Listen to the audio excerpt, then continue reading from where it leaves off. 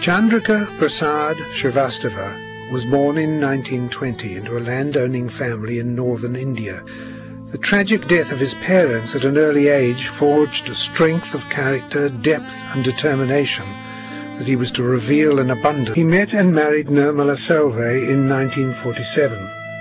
Her parents had been deeply involved in the struggle for Indian independence, and Nirmala herself was a political activist. As a child, she had spent time living at Mahatma Gandhi's ashram. With their marriage, C.P. Srivastava and Nirmala began a dedicated partnership with a lifelong admiration and respect for each other's convictions and work. So CP chose a career which allowed him to remain in India. He joined the Indian Administrative Service, thus beginning his distinguished career. In 1961, he was appointed Managing Director of a public sector company, the fledgling Shipping Corporation of India. The Prime Minister was immediately impressed by this tall, articulate young officer who came with such a formidable reputation for integrity and capability. The period that I spent with him was probably the most elevating period of my life. And uh, I was with him till the very last day of his life when he died in Tashkent in 1974, he was elected Secretary General of the United Nations International Maritime Organization based in London. He was unanimously re-elected for a further three terms, serving a total of 16 years. In 1989, he announced his retirement, which was received with great regret by the United Nations. Worldwide, he has received 31 of the highest honours and awards in recognition for his tireless service and outstanding attributes. He was also the founding Chancellor Emeritus of the World Maritime University, conceived and established by him in 1983 under the auspices of the International Maritime Organization, thus ensuring that all developing countries were able to participate actively in the work of the IMO, which until then had relied largely on the expertise of developed maritime states. Despite being honoured by royalty, Sir C.P. remains an extremely humble, gentle man. In July 1990, the Queen of England gave him one of her country's highest awards, Knight Commander of the most distinguished Order of St. Michael and St. George, making him the first Indian to be knighted since independence. Sir C.P. Srivastava has published several books, including Lal Bahadur Shastri, A Life of Truth in Politics, and provides an inspirational model of an ideal politician. The book was launched in Sydney in 1995.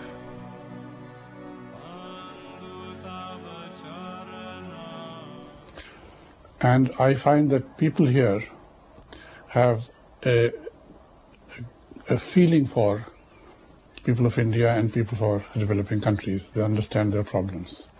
So I said, if we step out of India, where else? Let's go to Australia and begin there where the people are absolutely wonderful and full of understanding. While your text salutes a great Prime Minister, you can take great pride in your own role, your personal contribution to these great achievements. The book, ladies and gentlemen, is now officially launched. In November 2005, Sir C.P. was awarded the sixth Lal Bahadur Shastri National Award for Excellence in Public Administration, Academia and Management, which was presented to him by the President of India in a special ceremony.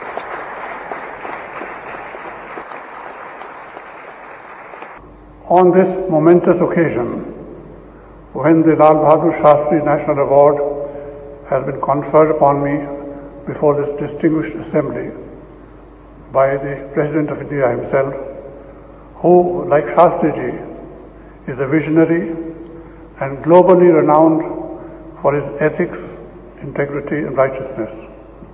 I bow down to him in deep reverence and with feelings of abiding gratitude. For me, sir, this will be the most memorable moment of my entire public service career in my life. Throughout his career, Sir CP's ability to draw differing parties to the same table and through persuasion, diplomacy and negotiation to reach agreement has gained for him lifelong respect and admiration. Before concluding, I seek your permission to acknowledge the enormous debt of gratitude which I owe to my wife Nirmala, who is here, without whose mighty support all these 58 years that we have been married, and without the loving care of our daughters Kalpana and Sadhana, who both are here, I could not have been standing before you today. I am now 85 years old, and whatever still remains of my life is being devoted to working with Nirmala, who has, over the preceding 35 years, worked ceaselessly for the creation of a new society based on the essential unity of all religions and who upholds the same ethical and moral values that Sri Shastriji steadfastly stood for. While mixing in the most powerful diplomatic circles, he always supported her work to transform human beings using Sahaja Yoga techniques. Now, in his retirement, he has continued to travel the world with her, promoting and encouraging the advancement of this great movement which connects people to their own inner spiritual energy and gives them the ability to transform themselves regardless of creed, culture, race or religion. A glance at CP's life reveals a portrait of a living legend. Over his many years he has worked tirelessly alongside Sri in his own area of diplomacy to transform humanity and bring freedom, hope and enlightenment to the world.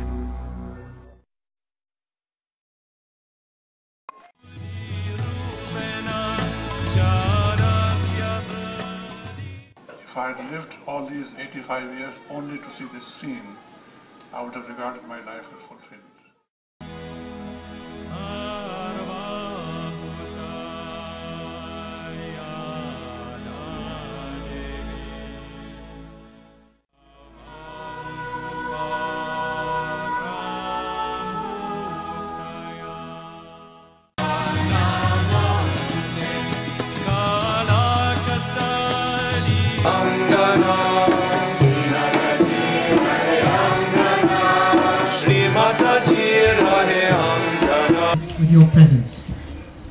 Your Australian Sahaja Yoga Samaj welcomes you and is doubly honoured by the opportunity to share your birthday with you.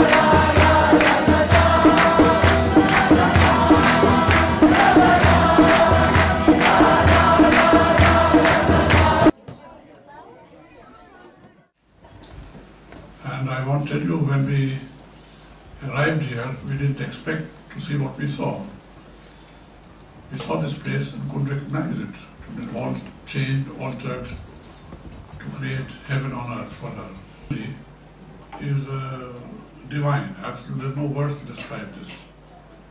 I want to tell you that I've been in many functions with her, with her Mataji, but probably this will be the most memorable evening of our lives. And uh, what a joy it is. This is the kind of world we want, not the world that we hear about in television, but this is a beautiful world. How I wish this scene could be seen by millions on earth and they'll become Sahaj Yogis tomorrow. I bow down to her as you do and thank her for having come to this earth to create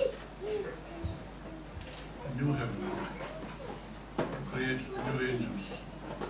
And I tell you, I from his heart, you are the angels that she has created.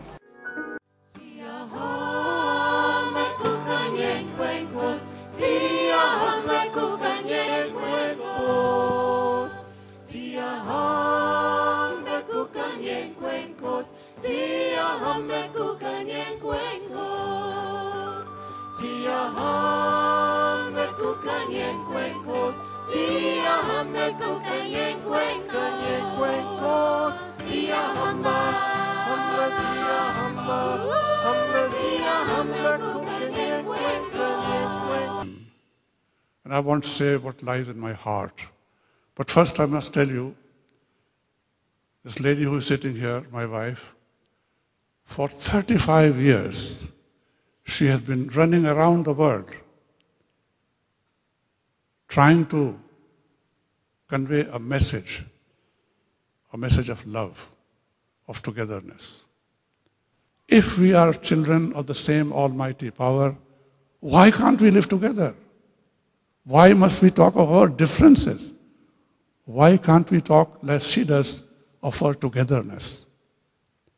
And it's not an impossible dream. It is something which is achievable. But the world needs this message, the her message. So my appeal to you is this. She has done her job. She has for 35 years been running around. She has done her job, created Sahaj Yoga in 80, 90 countries. And she has created beautiful things. Only way for the people of the world to come together is to come together on the basis of her philosophy, which is again based on ancient Indian philosophy. One Almighty, one human family, all together, regardless of their color of skin, regardless of their language, they all come together. Now, if this is the message which you accept, then it must be propagated.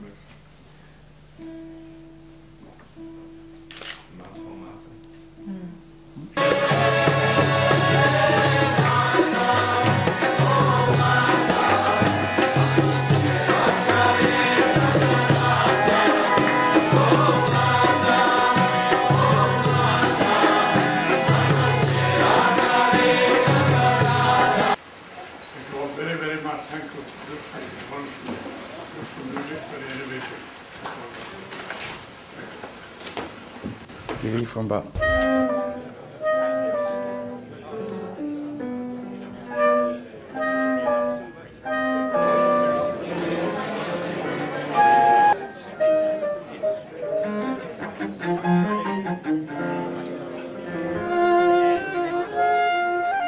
Distinguished guests.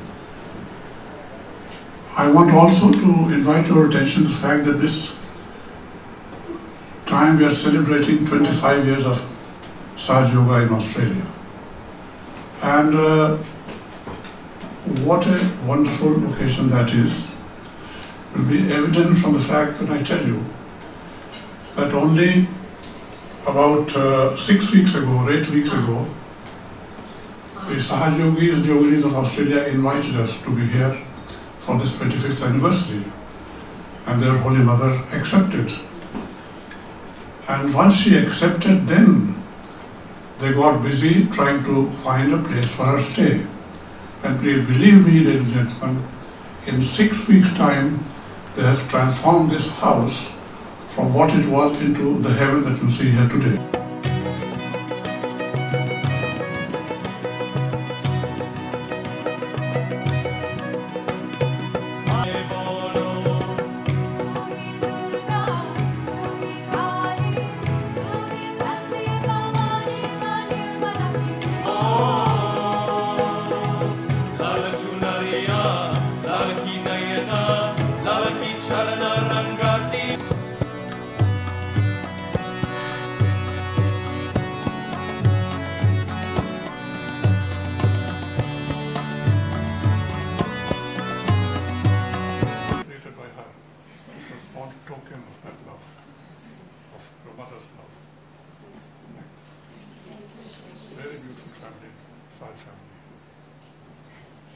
Our family.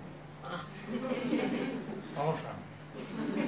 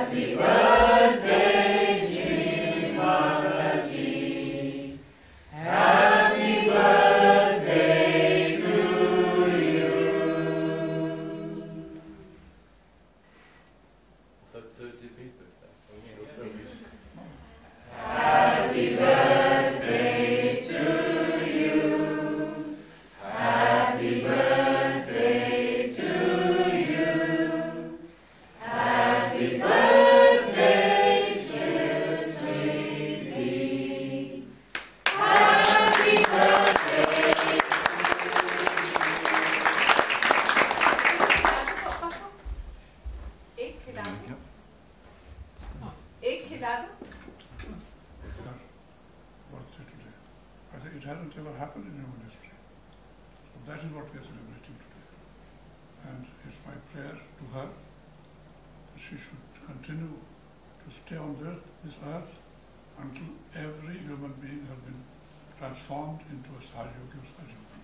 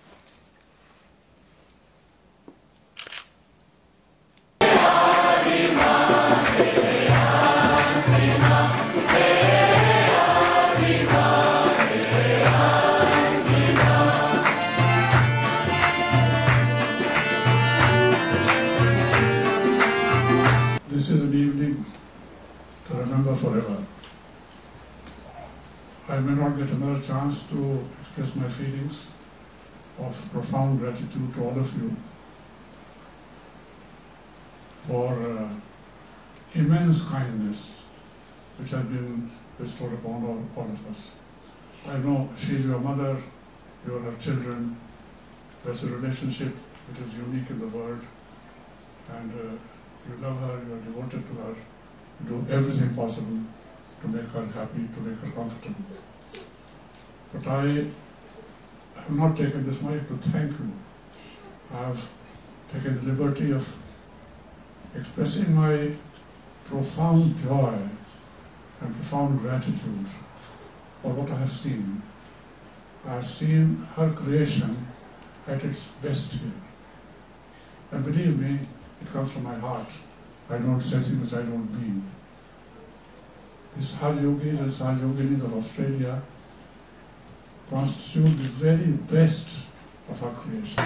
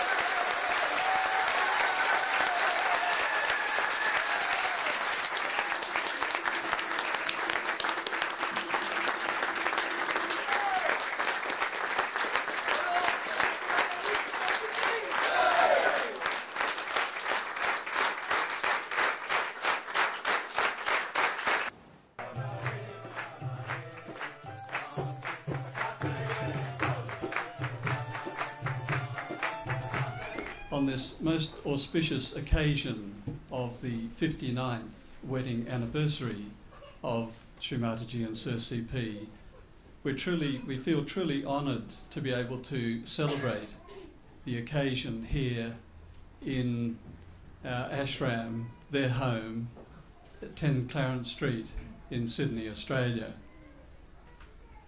It was here 25 years ago, we celebrated a very similar occasion in this room on the 21st of March 19, 1981.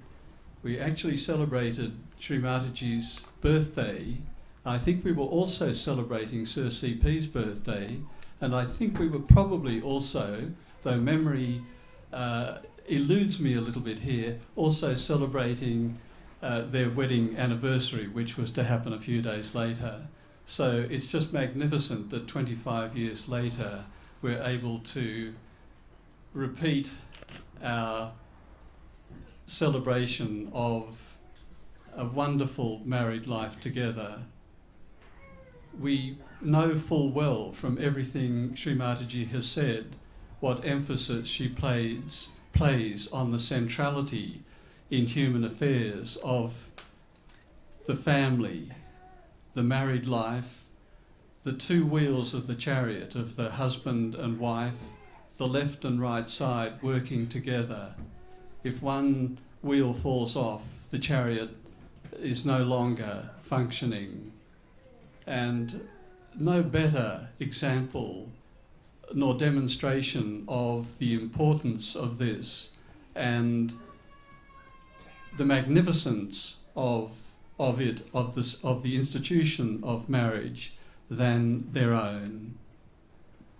We're truly blessed to see both Sri Mataji and Sir CP looking so well and we express our profoundest thanks to them that they have privileged us by coming here so far to Australia and we have celebrated so many wonderful occasions with them. Regrettably, this may be one of the last on this occasion that we celebrate, but by no means the least. Such a significant occasion is a wedding anniversary, and the 59th is, in, is indeed uh, auspicious and wonderful. And we thank them again. I thank them on behalf of everybody in the Australian Collective uh, for having been so generous with their time and for having come to Australia uh, so that we, may enjoy uh, the wonderful example that they set for us and benefit from that.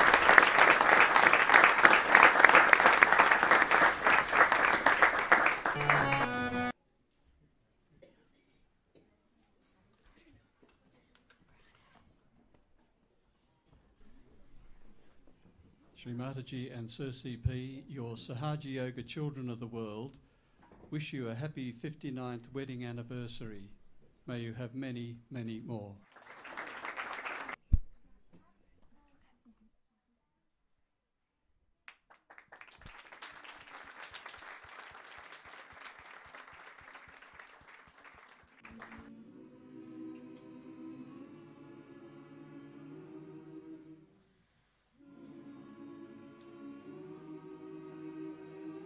Since we have come, every moment, every day has been absolutely wonderful and glorious. I can go on and on on this, but I want to tell you something a little more. And it is that I'm deeply grateful to Australia and Australian Sahaj. So this was something in my heart, and I wanted to mention that. We have had wonderful uh, programs. We have wonderful food from the kitchen. Everything has been perfect. I don't know that there could be anything better than what we have experienced. So I must conclude now, but I conclude by expressing on behalf of your mother her love for you and her uh, warm appreciation. And I'm sure she is extremely happy that her children have done so beautifully here. I carry with me wonderful memories, carry them always. And I told another gathering, you have asked for trouble and trouble will come, we will come back.